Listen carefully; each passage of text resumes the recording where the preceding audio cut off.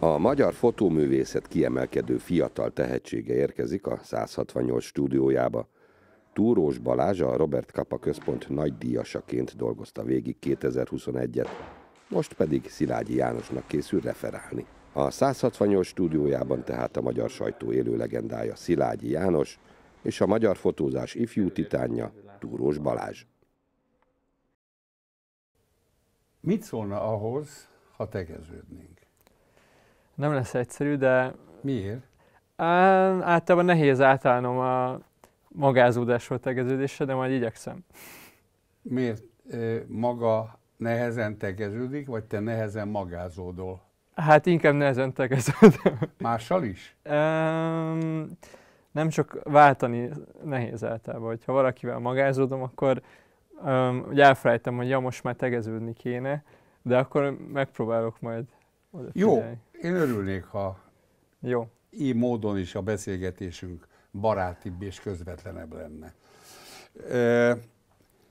Van egy, ezt olvasnom kell, egy Robert Kappa kortás fotográfiai központ, amely nagy díjat szokott minden évben tehetséges fotósoknak kiosztani.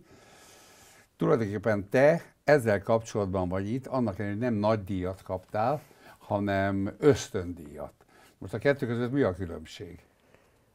A Kappa nagy díj elég, elég bonyolult, egy elég hosszú az egész pályázatnak a rendszere. Úgy van, hogy egy nemzetközi zsűri kiválaszt először, illetve nem egy három ösztöndíjast, és aztán a három ösztöndíjas egy éven át dolgozik a, a projektjén, és egy év múlva egy másik uh, zsűri, zsűri kiválasztja, hogy a három ösztöndíjasból ki lesz a kapanagydíjas. És akkor a 2021-es évben hárman voltunk versenyben, és most volt a, és nem a nagy díj, nem, szombat éve lett a, a 2021-es év kapanagydíjasa. És akkor te maradtál úgymond ösztöndíjas? Nem, ennek vége van, most választottak másik három fotós, akik a 2022-es kapanajdíjban megmérettetik majd magukat. Te, neked jó néhány fotót szerepelt ezen a versenyen. A dolgok természete sorozat is itt mutatkozott be. Mi a mögöttese ennek a címnek? Mi az, hogy a dolgok természete. Miért ez a címe ennek a sorozatnak? Fú, hát te adtad neki, mi az, Én adtam hú? neki. Igen, csak uh, nehéz erre röviden válaszolni. Uh, amikor volt a, a döntője a kapanagydíjnak, akkor egy 15 perces prezentációt kellett tartanunk, és nagyjából a 15 percben tudom megválaszolni egészen pontosan, hogy, hogy miért ez a címe. Ez egy, egy elég uh, nagy szabás volt, hogy egy nagyon egy ilyen hosszú projektnek mondható, és nem csak az elmúlt három évenben dolgoztam ezen a sorozaton, hanem... Mi ennek a sorozatnak a lényege? Hogy ki a főszereplője? A főszereplője egyrészt a nagymamám, másrésztről én, de hogy... A, a, Na várjál, a, akkor most megmutatjuk a nézőknek a te nagymamádat. Íme. De van a nagymamádról egy olyan kép, hogy csak néztem, hogy egy aktképet csináltál nagymamádról, ezt így kell. Nagyon szép fotó. A kérdésem az, hogy a nagymamád ebbe hogy ment bele? Aha. Amiért a nagymamám szerepel ebbe a sorozatba, hogy néhány éve demenciát diagnosztizáltak a nagymamámnál, akkor még kezdődő demenciát, azóta most már azért fokozatosan egyre súlyosabb tünetei vannak. Viszont ami, ami egy nagyon furcsa és érdekes helyzet a, ebbe a sorozatba, szerintem ö, gyakran van olyan, hogy fotósok mondjuk a demenciát választják témáj, témájukul, és...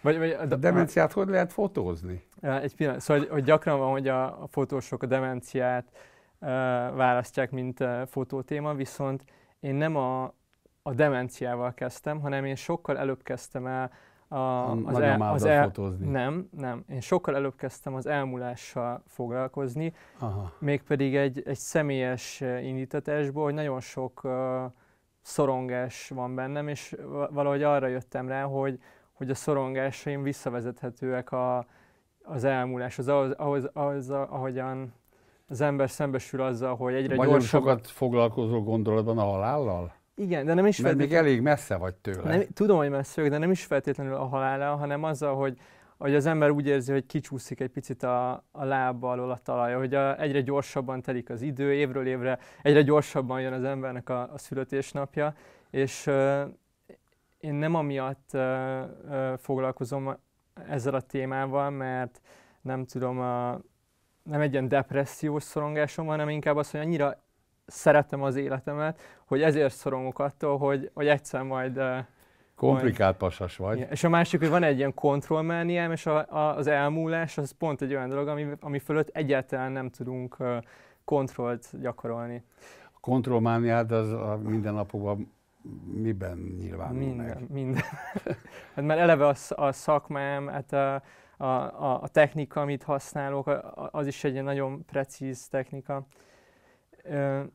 És ami, ami érdekes volt, hogy foglalkoztam ezzel a témával, és utána közbe, közbe jött a, a, a nagymamám. És az a kép, amit az előbb néztünk, a legelső kép, az volt az első kép a sorozatban, ami a, a nagymamámról készült. Azt uh, uh, csak azért készítettem, mert vettem egy új uh, fényképezőt, és ezt akartam tesztelni. És a nagyit csak megkértem, hogy üljön be modellnek, és azért kapott fényt az egyik fele a képnek, mert a gyárba, ahol a kamerát gyártották, ott teszteltük, meg, meg javítgattuk a dolgokat, és véletlen kihúzták a kazettát a, a És milyen gyárba. kamerával dolgozol szívesen? Én leginkább műszaki kamerával szeretek dolgozni, a nagyformátumú fényképezőgéppel. A... Mi az, hogy műszaki kamera? Elhoztam megmutatni ez az a gép, amivel én uh, legtöbbször Érvez, szeretek dolgozni. Kezembe adnád, és hosszú ideig kérdezgetnéd, hogy ez micsoda, nem tudnám megmondani, hogy ez egy fényképezőgép. Hogyha kinyitom, és felrakom az objektívet, akkor már jobban uh, fényképezőgép alakja lesz. Jó, nem kell felrakni az objektívet, képzeljük az elejére, Jó.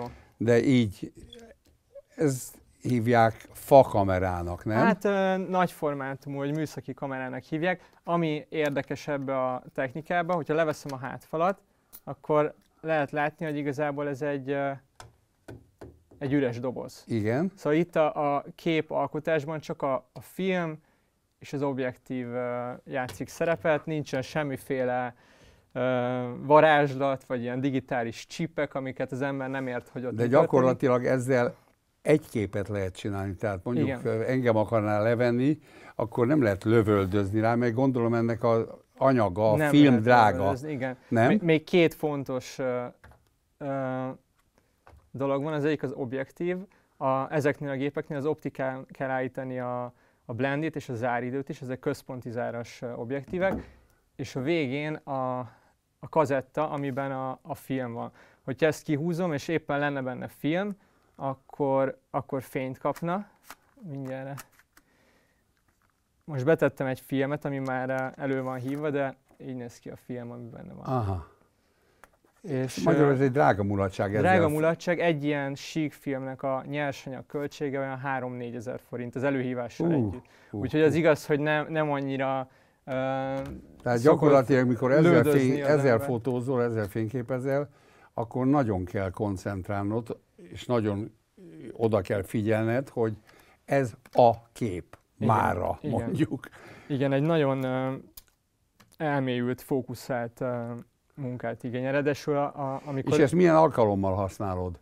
Tehát vannak olyan témák, amihez feltétlenül ezt használod, vagy vannak olyan témák, aminél ez szóba se jöhet? Nyilván uh, dolgozni nem ezzel a géppel szoktam, az alkalmazott munkáimat én is digitális géppel csinálom, viszont hogyha saját projekten dolgozom, nem csak ezzel a kamerával, szoktam középformátumú géppel is dolgozni, de ez az, amit a, a leginkább uh, szeretek használni.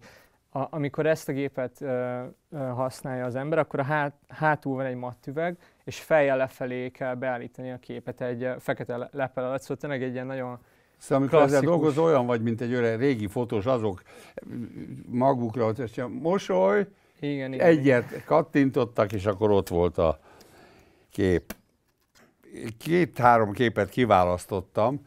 Az egyik az, ez a kép, ez így, így van. a, amin három kövér ember látszódik, ami nagyon jó fotó. Majd egyszer csak a neten találtam egy másik képet is, közvetlenül ezután, ami szintén egy kövér ember. A kövér ember a mániád? Nem, a második fotó édesapámról készült, úgyhogy... Ez a pukád? Igen, igen. Úgyhogy csak a véletlen műve. Ez jó. A, az első képen pedig a Tarcali bányatónál nagyon kedves három helyi úriember látható a képen. Amiért az a, az a portré érdekes, az, az az első olyan sorozat, ami, amit a kiinduló pontjának tekinthetek a, a mostani uh, Dolgok természete című anyagnak.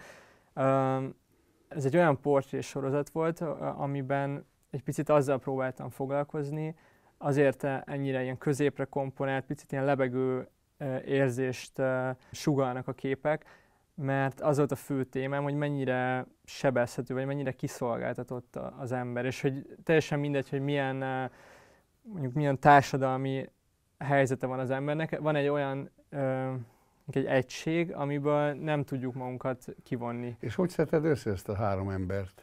Leszólítottad az utcába, uram, ennek elég nagy hasa van. Én három nem, ilyen nem, ember ez egy, szeretnék. Ez egy egyéves projekt volt, és egy éven át rengeteg helyszínen jártam, és rengeteg uh, embert fényképeztem le, és akkor megint a, a végeredmény lehet, hogy néhány kép, de a, a mögött rengeteg ember van, akit lefotóztam, pont az ő képük az, amiben valahogy, uh, valahogy uh, benne volt az, ami, amit az egész projekttel szerettem volna kifejezni. Hogy annyira, annyira, annyira megnyíltak a, a képen, és hogyha ha egy ilyen portrénál hogy nagyon megnyílik a modell, akkor valahogy uh, hogy, uh, ugye átjön az a kiszolgáltatottság, amivel amúgy foglalkoztam. A története az, az is megvan a képnek, mert napokon át jártam a Tarcali bányatóhoz, és már mindenkit lefotóztam, és a végén ők kérdezték meg, hogy na minket mikor fogsz lefotózni, és akkor uh, őket is lefotóztam.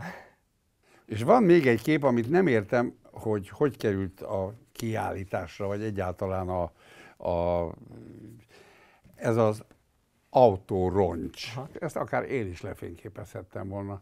Ezzel mit kerestél ott a zsűri előtt? Hát bonyolultan épül fel a, ez a sorozat. Néha egy picit egyszerűbben szoktak építkezni a sorozatok, viszont ebbe a, a Dolgok természete című munkába nagyon sokfajta képet vegyitek. Van benne színes, fekete-fehér, különböző technikákkal készült képek. A, a fotónak nagyon különböző ágai, meg különböző műfajai vannak, és az a, az, az ága, ami, amivel mondjuk én foglalkozom, ezt talán definiáltjuk úgy, hogy mondjuk kortárs fotográfia, mi nem annyira a, a valósággal dolgozunk, a valóságot inkább csak alapanyagnak vagy eszköznek használjuk, de általában a fontos, hogy milyen szimbolikus jelentései vannak azoknak a dolgoknak, amiket lefényképezünk. És De lehet, hogy ennek a szimbolikáját csak te érted, a néző nem. Én ebben az autóroncsban a világon semmiféle szimbolikát nem látok, ki tudok rá találni valamit, de és te miért raktad be, te mit találtál ki rá? Engem amúgy érdekelne, hogy, mi, hogy mit találtál ki. De hogyha elolvassuk a, a projektleírást és megnézzük mellé a képeket, akkor a kettőből együtt lehet már nagyjából összerakni, hogy a fotós mit gondolt. Hogyha, hogyha most visszagondolok a projektleírásomra, meg a, a témára, a dolgok ter- természete, az elmúlással, azzal foglalkozom, hogy minden... Hogy ez az autó elmúlt. Nem elmúlás, nem, de maga a, a pusztulás. Az a kép, az tulajdonképpen a pusztulásnak az esztétikája. Meg, uh-huh. meg a, mhm. a másik, hogy uh, engem nagyon érdekel, amikor fényképezek, hogy ilyen véletlen együttállásokat uh, találják. Olyan, olyan együttállásokat, amik egy ilyen tökéletes rendet alkotnak. És ez egy, egy ilyen, ilyen kép szerintem, hogy egy, ott a valóságban ez egy sima baleset volt, de ahogy a, a műszaki kamerával ezt az egyetlen egy képet megcsináltam, mert utána már rögtön jöttek a rendőrök és arrébb pateroltak, de hogy ebben az egy képben van egy olyan fajta ilyen koncentráltság, ami, ami valahogy átalakítja ezt a... Levonatom ebből azt a következtetés, hogy volt ez a baleset, hogy nálad mindig van kamera? Nem, nem. Én nem úgy szoktam fotózni, hogy mindig van kamera, és akkor néha használom, hanem ha fényképezek, akkor teljesen más tudatállapotba kell legyek, és, és akkor csak fényképezek, és nem tudok, hogyha éppen nyaralok, akkor nem tudok közben fényképezni. Szóval ha, ha fotózok, a, a, az a kép, amikor készült, akkor egy hétig csak fényképezni voltam Ukrajnába. Ez egy ukrán Igen, ö, igen. autó? Igen, igen. Aha. És amikor te azt mondod, hogy most egy hétig fényképezni fogok, akkor ez azt jelenti, hogy eltúlzom természetesen, hogy ami szembe jön, azt lefényképezed?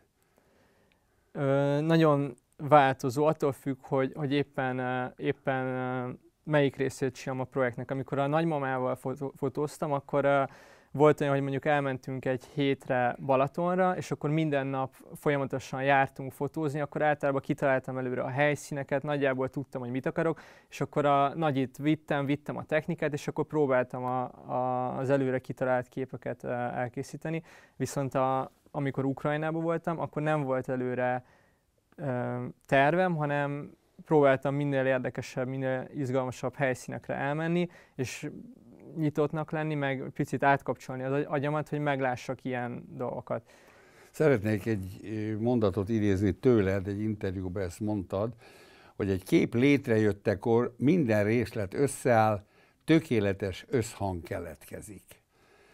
Na most ez mit jelent? Mert vannak elkapott pillanatok, beállított pillanatok, és most a beállított pillanatokról szeretnék néhány szót szólni, amikor van egy ötleted, hogy engem úgy akarsz lefényképezni, hogy miután én stúdióban dolgozom többet, ez a szakmám, hogy stúdióban ülök és beszélgetek emberekkel, de te azt akarod kifejezni, hogy ez az egész egy megváltozott, fejreállított világ, és megkérsz engem, hogy a sarokba itt álljak fejre, és úgy fényképezel le, hogy látszódik, hogy ez egy stúdió, de én fejreállok benne. Most ezt hirtelen kitaláltam. Ez egy beállított kép.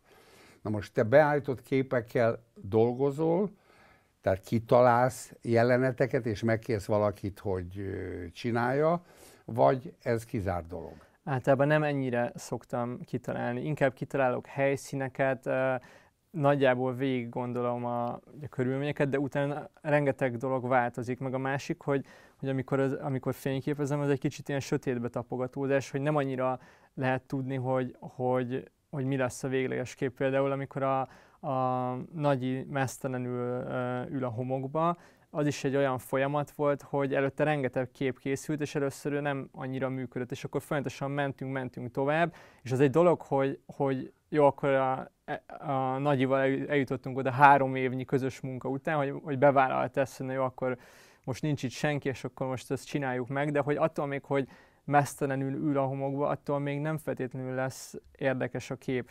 És az a mozdulat, ami, amit lehet látni, ott maga a mozdulat az, ami, amit az egész kép összeállt. Azt hiszem két képet készítettem a, a nagyiról, és az elsőn ugyanúgy ott ült mozdulat ö, mesztelenül, mégis egyáltalán nem volt jó kép. Viszont az a mozdulat, ami, ami a második képen látható, ott az kellett ahhoz, hogy, hogy, hogy ez a, hogy mondtam, hogy tökéletes rend, vagy hogy volt az idézetben, hogy ez összeálljon, Igen. ehhez e- ez a mozdulat kellett, és ez a mozdulat, most az, hogy ez mennyire tudatos, persze én instruálom a, a nagyit, és mindenfélét mondok neki, és amikor azt érzem, hogy na most itt valami, valami ezt valahogy érzi az ember, olyankor exponálok. De hogy nem, nem egy kicsit tényleg sötétbe tapogatózás, mert nem mindig tudom előre, hogy mi, hogy mi lesz a, Persze. a tökéletes. Na mutatok egy képet, ami azt tudnám mondani, hogy jó kép, de jó pofa kép. Szóval olyan, mint ez a két ember ezt a fát, ami félig van, ők tartanák. Ezt a fát megláttad, és megkértél két embert, hogy csináljanak így, vagy ö, arra jártál, és két ember, nem tudom, szedett valamit a fáról. Igen. Mondtam azt, hogy, hogy egy módosult tudatállapot eh, kell a, a fotózáshoz, legalábbis nekem. Annyira módosult volt ez a tudatállapot, hogy én csak otthon vettem észre, hogy ez a fa ilyen nagyon érdekesen van, hogy a, a törzs az teljesen a, egy ilyen egy ilyen teljes Igen, fél- harmóniát igen. kiad a, a két emberre. Szóval én amikor csináltam a képet, akkor instruáltam őket, és, és én komponáltam meg, meg én terveztem a, a, meg az egész képet, viszont valahogy volt az egésznek egy ilyen zsigerisége, hogy nem feltétlenül ott tudatosan láttam ezt az egészet, hanem csináltam másik 40 ilyen fotózást, ahol azt hittem, hogy majd, majd ott valami fog történni, és abban mondjuk 38 kép az, az nem sikerült. Szóval valahogy kell, a, kell nem csak, hogy próbálkozni, hanem az a munka, amit, amit beletesz az ember, azt nem lehet kispórolni. A, a nézők már csak a végleges képeket látják, de mondjuk egy ilyen kép mögött ott van 40 ugyanilyen fotózás, ami meg ö, egyáltalán nem, nem sikerült. Ö, mitől jó egy kép? Attól, amit ábrázol, vagy ahogy ábrázolja. Tehát a fotó maga nagyon jó van megvilá- a megvilágítás szép, vagy az az érdekes, hogy mi van a képen?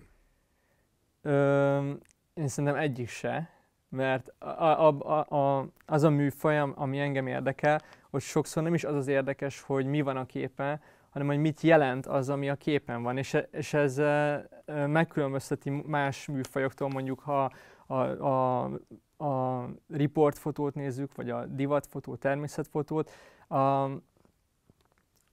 az, ami, a, ami engem érdekel, az uh, már említettem, hogy nem annyira a valósággal foglalkozik, hanem általában van egy ilyen abstrakció, hogy, hogy ne, nem elég az, hogy az ember uh, azt értelmezi, amit lát a képen, hanem, hanem kicsit utána kell menni, hogy, hogy mi a jelentése. Szóval, szóval több lérem És nem tartasz a... attól, hogy ezt csak te tudod, de a képeid megtekintői ezt nem érzékelik annyira? Hát ez biztos előfordulhat, de ha megnézzük a kapanagy akkor most már évről évre előfordult az, hogy a, a szakma az kicsit zúgolódott, a, a, a, nem is csak a laikusok, hanem akár a, mondjuk a fotós szakma, már nem egyszer fordult elő, hogy nem annyira értették a zsűri döntését, vagy, a, a, vagy a, az ösztöndíjasokat nem értették, hogy miért pont őket választották. És ez egy furcsa dolog, a, sokszor szokták azt mondani, hogy a kortárs művészet ez egy ilyen nagyon elvont, meg nagyon eltávolodott a, az emberek közízlésétől. Szerintem ez nem véletlen, mert, mert ha azt mondjuk, hogy a művészet, a, a művészet feladata az, hogy reflektáljon a világra, és megnézzük, hogy milyen világban élünk, akkor hogyha ha egy ilyen nagyon-nagyon kaotikus katyvasz a kortás művészet, akkor az jól működik, mert a világ is elég eh, katyvasz. kaotikus katyvasz körülöttünk. Szóval ezért van az szerintem, hogy ennyire egy torz és, eh, és ilyen diszharmonikus dolog tud lenni néha a kortás művészet, és eh, most az egy, az egy más kérdés, hogy ez a kinek szól. Én is volt, hogy beültem egy Schönberg operára, és próbáltam túlélni, mert én nem ahhoz értek. Aki, aki zenével foglalkozik, annak a egy dodekafón opera az lehet, hogy csodálatos, de én nekem teljesen értelmezhetetlen volt. És a, a fotó, meg szerintem az összes, a, talán az irodalom minden így működik, hogy, hogy van egy olyan szelete, ami leginkább a, a szakmának a, a, szól, vagy, vagy ők tudják értelmezni. Az irodalom azért más, mert nyilván irodalom órája van mindenkinek az iskolában, és elvileg éveken át tanuljuk azt, hogy hogyan, hogyan értelmezzünk egy, egy irodalmi művet, verseket elemzünk, viszont hogyha mondjuk egy fotós ö, ö, sorozatot nézünk, akkor hogyha valaki teljesen laikus, akkor ő igazából úgy nézi, ahogy amúgy ö, mondjuk, hogyha az írás párhuzamát nézzük, akkor lehet az írás használni egy bevásárló cetlire, lehet egy szerelmes levelet írni, lehet egy egy tanulmányt írni, és egy irodalmi művet. És a fotó ugyanennyire szertágazó, lehet, hogy mondjuk fotó egy selfie is, meg fotó egy riportfotó, meg egy, egy síkfilmes fotó is, de ugyanannyira különbözőképpen működik. Ha ezt a szót kiejtetted, hogy laikus, Igen. hát az egész világ laikus fotósokból áll. Az egész világ, mióta van telefon, fotózik. Ebből kifolyólag Szerinted több jó fotós van a világon? Kitermelődnek ö, jobb ö, szakemberek? Én, én már azzal vitatkoznék, hogy laikus fotósok, mert most, hogyha azt nézzük, hogy mindenki használja az írást, nem úgy gondolunk az emberekre, mint hogy mindenki laikus író lenne, azért, mert használja az írást. Szóval ezt azért jó, hát Most minden esetre a világ fotózik. Az biztos, hogy a technika fejlődik, többen fényképeznek, egyre jobb képek készülnek, e, e, ez is biztos. Kérlek szépen, és azt is mondtad, hogy selfie, kiejtetted ezt a szót. Igen, igen. Te csináltál már magadról selfit? Persze. Tényleg? Persze. Nem a fakamerával. Nem. Erre nem tettem volna rá a nyakam, hogy te csináltál magadra a selfit. Én például azt hiszem, még életemben nem csináltam magamról selfit. Ez divat, mindenki csinál. De milyen alkalomból csináltál? Valaki állt melletted és lefényképeztettek egymást? Nem, hát mondjuk utazásra, vagy ha csak akár találkozom valakivel, akkor küldünk egy képet valaki másnak. Ez ilyen teljesen bevett dolog. És te a képeidet barátaidnak megmutatott kiállításon kívül, meghívod őket, vagy meghívsz valakit, és azt mondod, nézd meg, ezt csináltam az utóbbi három hónapban. Van ilyen? Persze, hát van egy, mondjuk egy olyan baráti kör, akik, akik mondjuk így a szakmailag is így közelebb állunk egymáshoz, és akkor nyilván mi folyamatosan konzultálunk, meg nézegetjük egymásnak az aktuális projektjeit. És kibírod vagy könnyen elviseled, ha valamelyik jó barátod azt mondja, te, ez nem az igazi.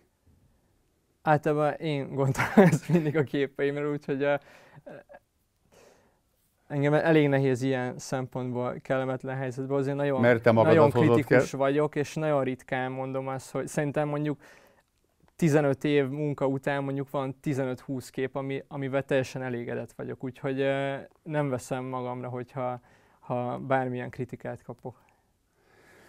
Hát kérlek szépen, ha már itt a selfie beszéltünk, meg a fotózásról, akkor én csinálnék rólad egy képet. Megengeded? Meg.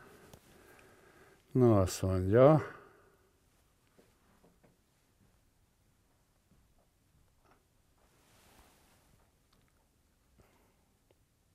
Meg is van. Meg is van. Ezt elteszem magamnak, emlékbe küldjek belőle? Elküldjem ezt a képet majd? Igen, köszönöm. Meg fogod kapni. Én meg a beszélgetést köszönöm. Összességében jól éreztem meg annyi, hogy nagyon izgultam, de ez nem Jánoson múlott, hanem mindig nagyon izgulok, hogyha kamerák vesznek körül. Általában a kamerák túloldalán jobban szeretek állni. Végig azért drukkoltam, hogy Balázs megnyugodjon egy kicsit, mert láttam, hogy feszült, ideges, szorong, és a végére talán sikerült neki megnyugodni a saját magától. De a legjobb pillanata az volt, mikor azt mondtam, hogy vége. Boldogan állt föl.